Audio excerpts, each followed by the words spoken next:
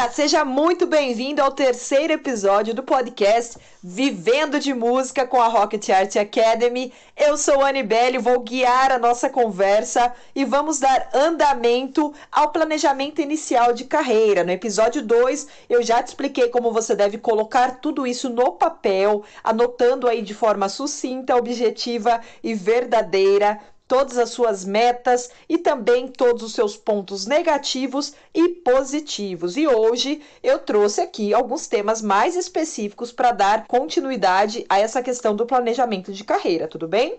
Então vamos entender algo muito fundamental que todo músico, todo artista precisa ter claro, claro como o céu é azul todos os dias na sua mente. Você é um músico, você vende a sua música, e você vende a sua imagem. Se você vende, podemos até te chamar de vendedor, por que não? O músico ele é tantas coisas, entre elas ele é um vendedor também.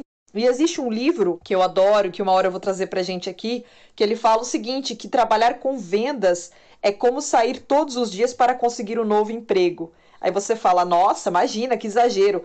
Gente, é de fato isso, porque quando você faz um lançamento musical, quando você coloca um clipe rodando aí nas redes sociais, nas plataformas, você precisa buscar novos seguidores, buscar novos fãs. E para um músico que se importa com seu lançamento, ele sabe que isso acontece todos os dias. Então, sim, é como se você precisasse sair todos os dias para arrumar um novo emprego, mas você sai todos os dias para arrumar o quê? Um novo fã, um novo seguidor ou até uma nova oportunidade de emprego, tá certo? Então, em entre tantas outras funções que um músico independente desempenha, o vendedor é uma delas. Por mais que você se custe a acreditar, pode ter certeza que você precisa trabalhar com a venda. Entenda, quando você cria um trabalho novo, você meio que vende a ideia daquele trabalho novo para as pessoas.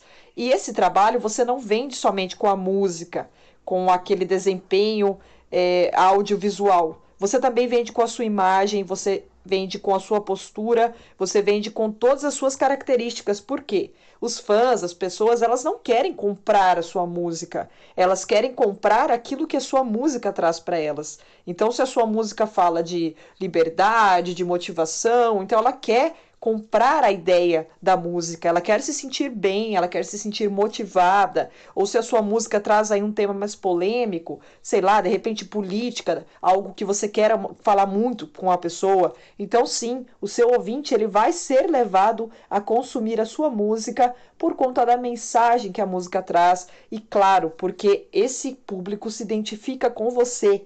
Dificilmente alguém que não é do seu meio, da sua tribo, vai se identificar com a sua maneira de falar, com a sua maneira de vestir, de se portar. Então entenda que você precisa, de fato, começar a separar todas essas habilidades que você precisa de desenvolver, tá certo? Então, como artista, como músico independente, você precisa atuar de várias maneiras dentro da sua carreira.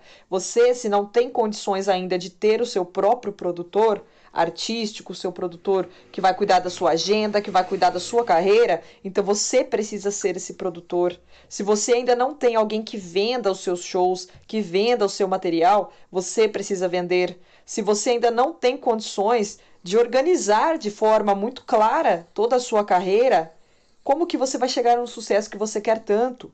Você precisa organizar isso. Por que, que eu estou falando de uma forma bem inicial? Porque eu recebi muitas dúvidas de pessoas que não sabem como entrar no mercado musical.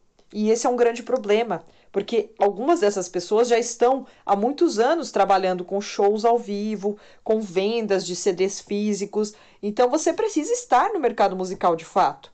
E uma vez que você entra nele, você precisa manter um trabalho de frequência, um trabalho constante. Então tá certo, você precisa separar as suas funções.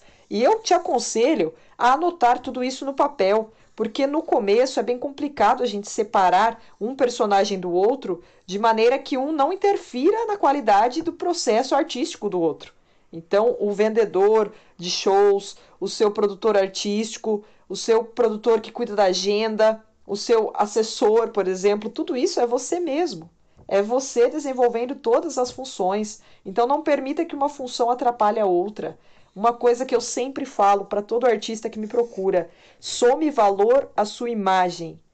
Ah, Anne, mas é difícil somar valor à sua imagem quando você ainda não fez uma venda de show, por exemplo, ou quando você ainda não tem um conhecimento é, mais profundo. Então é para isso que eu estou aqui. Eu estou trazendo um pouco do music business, um pouco da realidade do que acontece na vida de um músico profissional. Mas só que no início esse músico ele não tem uma equipe.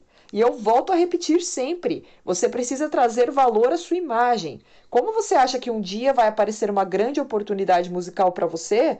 Se o produtor que está do outro lado, se a pessoa que é a dona dessa grande oportunidade não enxergar potencial no seu trabalho. Como que alguém que não te conhece vai ver potencial em você se você não mostra esse potencial? De repente você é aí o melhor cantor, o melhor instrumentista do Brasil, mas você não sabe como mostrar isso para o mundo. Então você não tem uma página organizada, você não tem um portfólio, você não tem é, as suas redes sociais muito bem atualizadas. Como que alguém vai olhar para você enxergar esse potencial se você não tem todo esse equipamento, esse material de qualidade? Então entenda que sim, você precisa trabalhar sozinho, como se você fosse uma equipe, até de fato você ter condições de ter uma equipe trabalhando para você. Ache isso a loucura que for, mas pode ter certeza que é verdade, que traz resultados e por mais que você veja histórias de grandes músicos por aí, músicos que tocavam em metrô, músicos que eram aí de repente músicos de rua, artistas bem independentes que estavam aí numa situação bem pior que a sua, vamos dizer assim. Mas eles trabalharam, eles fizeram um processo de planejamento de carreira até chegar nessa oportunidade que eles conquistaram. Não foi simplesmente tocando na rua e alguém passando e falando: "Nossa, que músico incrível, vou dar uma chance para ele". Isso pode acontecer? Pode, porque no mundo da música tudo é muito muito diferente, as coisas podem acontecer simplesmente do dia para a noite. Mas você deve contar com a sorte? Claro que não. Ninguém deve contar com a sorte. Você cria suas oportunidades. Entenda que se você não tem uma oportunidade, se ninguém te deu uma oportunidade, você vai lá e cria ela. Esse não é o motivo para você desistir da carreira musical. Esse não é o motivo para você se ver fracassando no mercado musical. A maioria dos músicos grandes que hoje nós conhecemos, eles não tiveram uma oportunidade, eles criaram a sua oportunidade. É muito diferente. Dificilmente alguém vai chegar para você e falar: "Olha, fulano, eu acho que você é incrível, você quer gravar comigo e tudo vai dar certo daqui para frente?". Isso é muito raro. Pode acontecer, mas de repente você vai passar a vida toda esperando e isso não vai acontecer. Agora, quando você cria a sua oportunidade, é diferente. É muito diferente.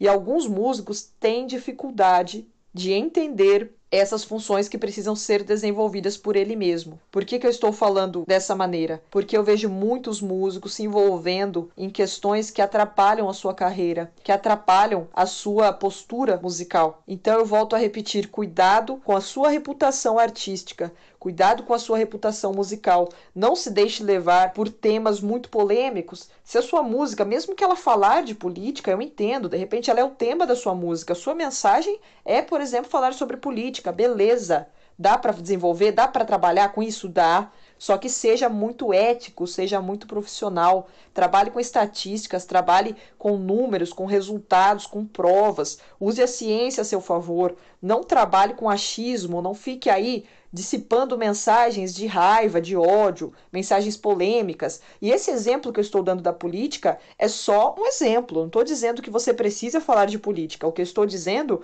é que cuidado com a maneira que você vai difundir a sua mensagem. Se você é um músico que fala de positividade, de motivação, de paz, de liberdade, por que, que você vai se envolver em discussões políticas? Por que, que você vai se envolver em questões polêmicas que não vão trazer valor nenhum para sua imagem, para sua figura artística? Não faça isso.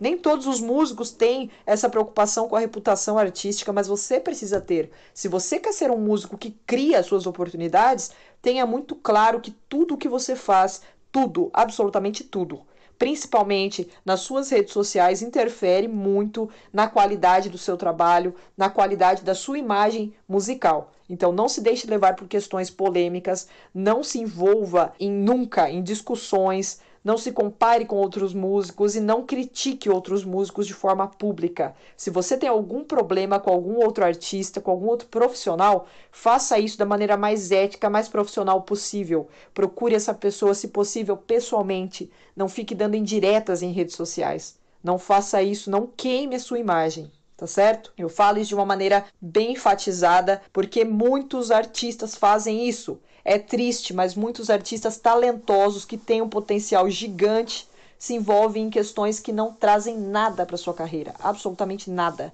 Pelo contrário, só prejudica e destrói todo aquele conteúdo de qualidade que você já tinha construído até aquele momento, tá certo? Então, galera, vamos finalizar aqui de uma forma que você possa dar continuidade com o planejamento inicial do episódio 2, tá certo? Você já anotou tudo que você precisa fazer e agora eu peço que você anote novamente todas as funções que você precisa desempenhar nesse momento. Não anote muita coisa, coloque de forma bem sucinta, bem objetiva e dentro das suas possibilidades. Então, se você já está no momento de vender shows, você precisa ser o seu próprio produtor. Você precisa cuidar da sua agenda, precisa cuidar dos contratantes, precisa cuidar da sua imagem nas redes sociais, tá certo? Se você não tem uma assessoria que cuide disso tudo para você, você é a pessoa que vai desempenhar esse papel. Então procure tudo que você precisa fazer nesse momento, anote essas funções e não deixe nunca que uma função atrapalhe a outra. Lembre-se sempre, sempre para sempre na sua vida de músico, independente se você amanhã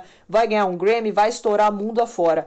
Lembre-se de trazer valor para sua imagem. Nunca traga nada que vai prejudicar. Se você, por exemplo, eu estou dando somente um exemplo. Se você trabalha com música e você já chegou no sucesso que você quer, você já tem um resultado bacana e agora você decidiu que vai ser aí um mentor, um orientador de outros músicos, isso, por exemplo, é algo que vai trazer valor para sua carreira. Agora, se você chegou no nível que você queria e você vai investir em outra área que vai trazer uma coisa negativa para tudo aquilo que você construiu, não faça isso. Lembre-se de trazer valor para você mesmo. Nunca tire o valor que você construiu. É claro que algumas das coisas que eu disse para você no começo podem não ter ficado tão claras. E é por isso que eu vou pedir para que você deixe o seu feedback lá nas páginas da Rocket Art Academy, no Facebook, no Instagram, no próprio YouTube. Pode me chamar também no meu perfil, @anibelleoficial. Deixe lá todas as suas observações. Conta para nós se o conteúdo tá chegando bacana para você, se você tem as suas dúvidas esclarecidas, se você precisa de outra ajuda, tá bom? Não deixe de passar o seu feedback para nós, porque isso é muito importante, tá certo? Te espero no quarto episódio, onde eu vou trazer um tema bem específico mesmo como eu faço a venda de um show, como eu chego em um contratante, como eu deixo meu portfólio atualizado para que eu consiga ter aí pelo menos de 50 a 80% de chances de fechar um grande show, tá certo? Te espero então no quarto episódio. Valeu!